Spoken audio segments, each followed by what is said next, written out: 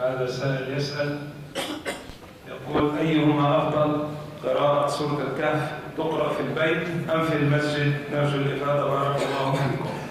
في إضافة على جواب السؤال الذي كان في الأسبوع الماضي عن كيد الشيطان وكيد المرأة وما جاء بمعنى الكيد في كلام الله تبارك وتعالى. فأما كيد الشيطان فإنه كله الوسوسة لا يملك الشيطان مع ابن آدم إلا الوسوسة. لذلك لما جاء رجل قال يا رسول الله إني أجد في صدري ما فأعظم وأنا أتكلم. به يعني لا أستطيع أن أقول ما الذي يجب من التشكيك أو الأمر الكبير. فقال النبي الحمد لله الذي رد كيده إلى الوسوسة. فجعل كيد الشيطان في الوسوسة وأيضا قال النبي صلى الله عليه وسلم نادى الشيطان بأحدكم يقول له من خلق كذا؟ من خلق كذا؟ من خلق فمن خلق الله.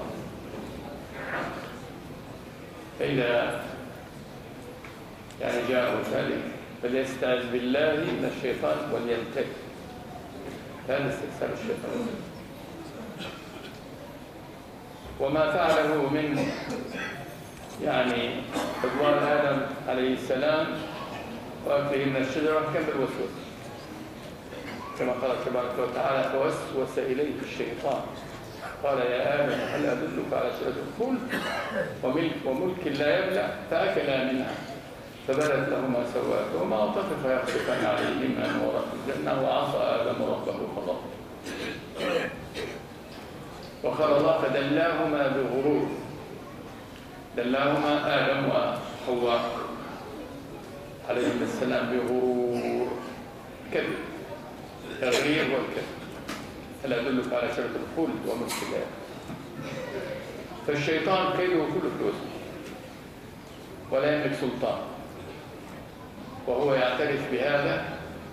الله أكبر أنه يخبر كل أتباعه الذين في النار يخطب فيهم خطبته المشهور. في كل من دخل النار معه. يقول لهم إن الله قد وعدكم هذا الحق.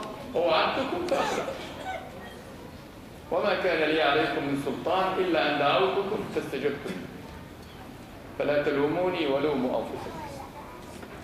ما أنا بمصرخكم وما أنتم بمصرخي. إني كفرت بما أشركتموني من قبل. إن الظالمين لهم عذاب ومن عجب أن هذه الوسوسة هي التي أضل بها من أضل. من بني آدم. بس وسوسة وسوسة وهو دائم هذا. يعني الشيطان لا يمل من أن يظل يزين للشيطان. ولا يترك.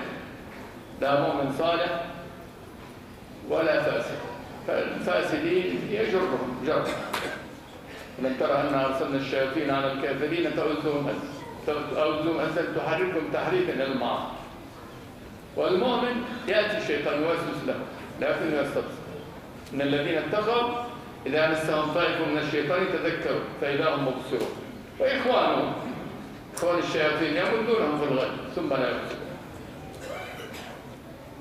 فالخروج من كيد الشيطان أي وسوسته بالشر باللجوء إلى الله.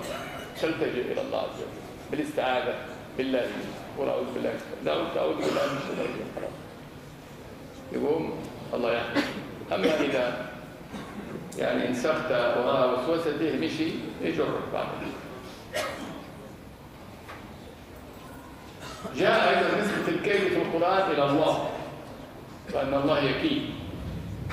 كما قال تبارك وتعالى إنهم يكيدون كيدا وأكيد كيدا.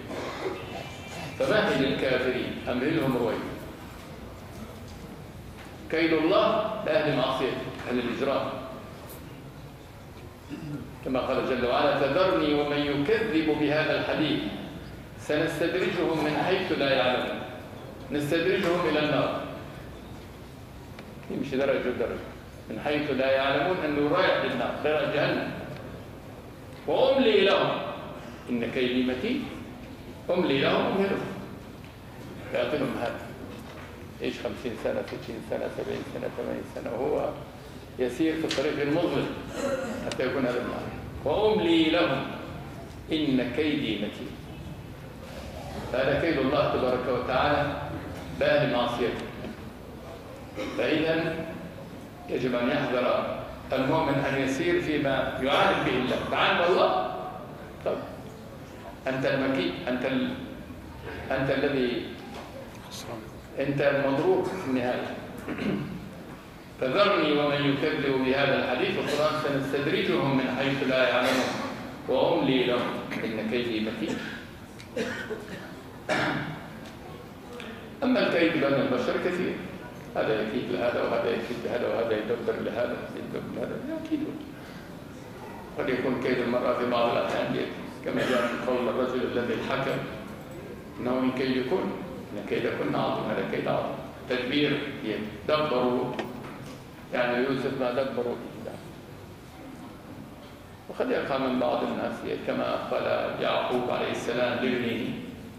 يوسف قال يا بني لا تك لا تخصص رؤياك على اخوتك فيكيدوا لك كيدا.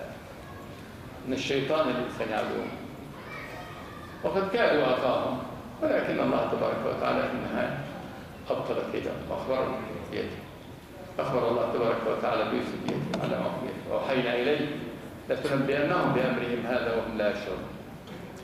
هذه إضافة أحببت أن يعني نضيفها إلى الجواب الذي يعني تكلمنا عنه في الأسبوع الماضي. أما السؤال هل قراءة يعني سورة الكهف في البيت أفضل؟ أم في المسجد أفضل؟ على كل حال قراءة القرآن في كل الأحوال.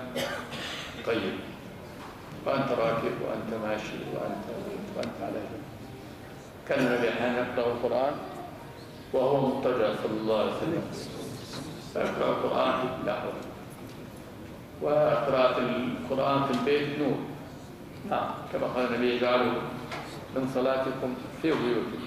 نعم نور كتاب وقراءة القرآن في المسجد. خير. أنت جالس. عن أفضل ما تشغل به وقتك. وأنت في بيت الله تبارك وتعالى أن تقرأ القرآن وتذكر الله تبارك وتعالى. والمكس في المسجد على كل حال. أجل. لو جالس فيه حتى تتكلم بأمر في أمور الدنيا برضه خير. يعني المكوث في المسجد المكث في المسجد خير. والنبي يقول لا يزال لا تزال الملائكة تصلي على أحدكم يعني إذا كان في المسجد تقول اللهم اغفر له الرحمة حتى يخرج أو يحدث.